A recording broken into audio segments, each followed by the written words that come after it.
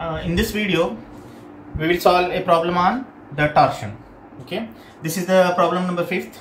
So in the previous uh, video also we solved uh, up to the problem uh, the four problems one by one.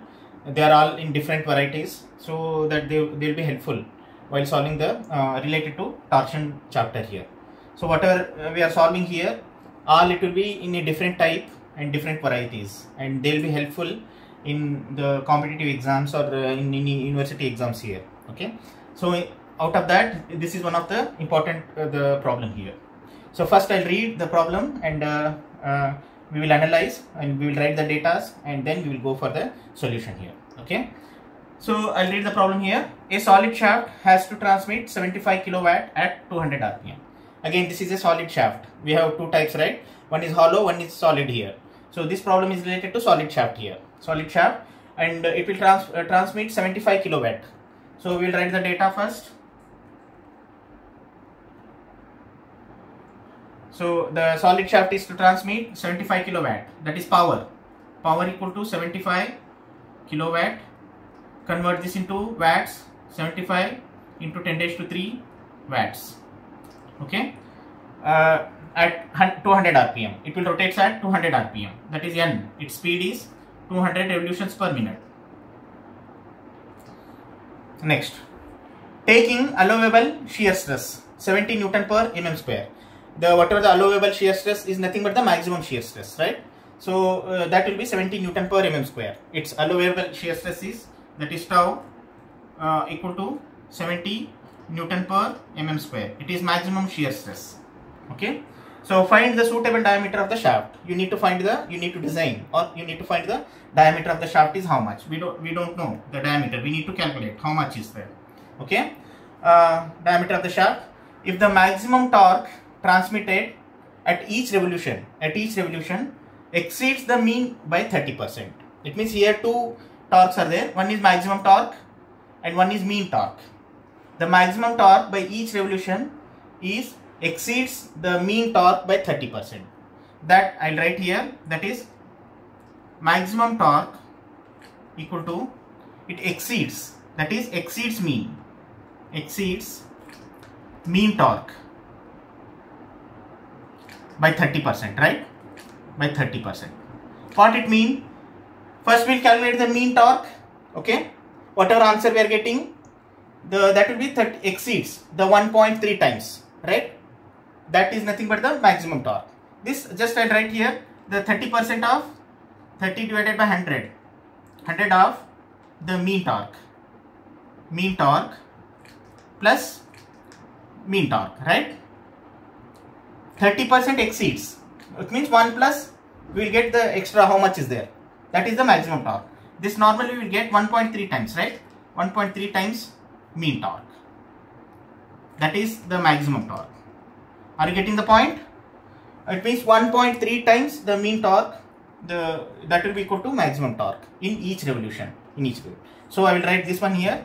The maximum torque equal to 1.3 times. 30 percent exceeds means 1 plus 3 1.3 times mean torque. Mean torque. This is given. So we need to calculate the diameter here. Okay? So so these are the data and we will go to solve the problem here. So here data are there. These, are helpful here. So to here given power and the speed and the shear stress. We need to find out the diameter. So how we start here uh, we need to find out the maximum uh, the torque here. How how we start? What is the relation between the torque and the shear stress? So normal formula so in every problem we are started we will start with the same torque equation torque formula here. This is for solid shaft. So for solid shaft the t torque equal to what is the formula? Pi by 16 tau into d cube. Right? So here t what is the t? T is t maximum or t mean? Uh, shear stress is maximum. This is maximum shear stress. Therefore the whatever the torque we are getting that is also t max t maximum. Okay? So maximum shear stress here uh, maximum torque here maximum shear stress and the diameter. We need to find out the diameter. We know the shear stress. Maximum shear stress is given 70 newton per mm square. This this we know. But we don't know the t max right? The maximum uh, torque.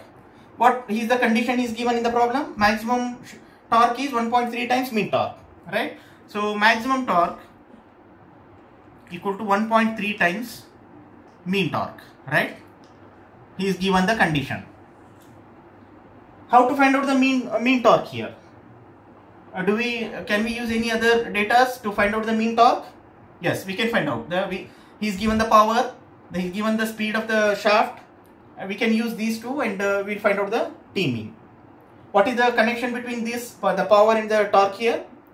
The general formula for the torque equal to 2 pi nt divided by 60 right? Uh, power. This is power. The power transmitted equal to 2 pi nt divided by 60 so t is how much? T, this is t mean. This is mean torque. Mean torque.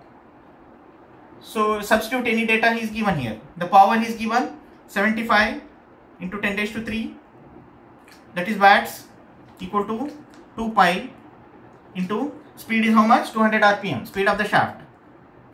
Into t mean t mean divided by 60 right? So from this uh, equation the t mean is unknown. So, so simplify and cal uh, calculate that t mean we will get after simplification we will get the um, mean torque 3580 point 98 newton meter. 98 newton meter.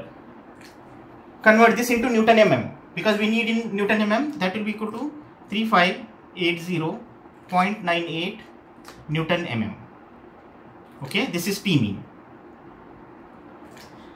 And once if you calculate t mean substitute here in t max. Okay therefore t max the maximum torque equal to 1.3 times t mean. This will be equal to 1.3 into 3580.98 uh, this is into 10 dash to 3 right? This is into 10 dash to 3 into 10 dash to 8, 80, 80.98 into 10 dash to 3 right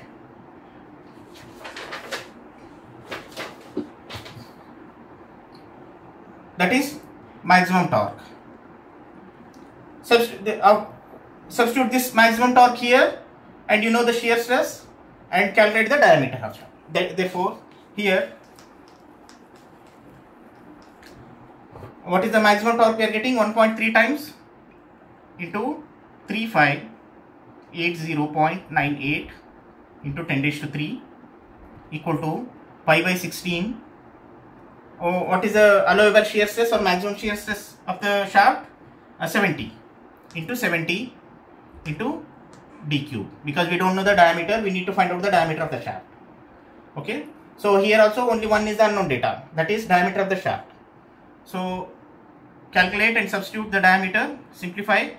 We will get the diameter is equal to 69.57 69.57 millimeter so this we can write it nearly equal to 70 millimeter. Okay? So this is the diameter of the shaft solid shaft. So he's given the power speed and uh, the shear stress and the the maximum uh, torque in terms of mean torque. So this is the procedure to calculate the uh, diameter of the shaft here.